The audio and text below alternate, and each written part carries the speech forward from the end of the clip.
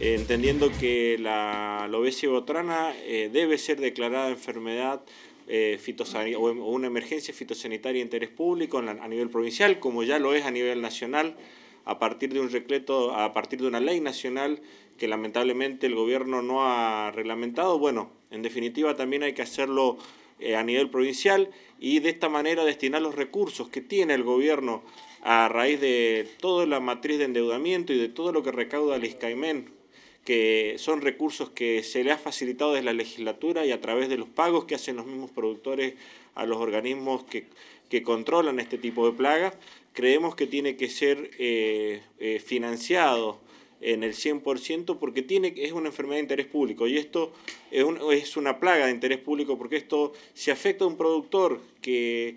que, que, que fumiga y que hace todos los deberes que tiene que realizar, respecto a otro que no lo pueda hacer o que no lo vaya a pagar, obviamente que va a terminar perjudicando a los dos productores. Por eso esto en nuestra concepción creemos que tiene que ser una, una, una plaga declarada de interés eh, fitosanitario para que el mismo gobierno conte con los recursos que ya tiene aprobado a través de endeudamiento y vuelvo a repetir a través de lo que recauda por el mismo escamén para poder combatir eh, en su totalidad en toda la provincia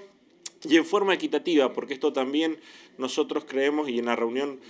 con la Cámara de Comercio que también lo manifestaron ahí, que realmente los recursos de, de, pesticidas, de, feromonas, y de, tienen que ser repartidos en forma equitativa en toda la provincia, así que, que esta ley también garantice este tipo de cosas. Así que bueno, vamos a estar trabajando mañana, si bien somos senadores, las comisiones son públicas y vamos a estar eh, junto con los senadores y, y los diputados trabajando en esta ley para que realmente sea lo más justo y que no terminen pagando el pato a los productores con todo lo que esto ha significado a nivel económico con unas economías regionales que no están funcionando, que estamos recibiendo productos importados del exterior que hacen que nuestros productores primarios vean afectados sus ingresos y a esto se les suman cargas importantísimas como el seguro agrícola y ahora cargas de los gastos de, de fumigación y de prevención y control de la polilla de la vid que creemos que como Estado debe ser responsabilizado el mismo Estado.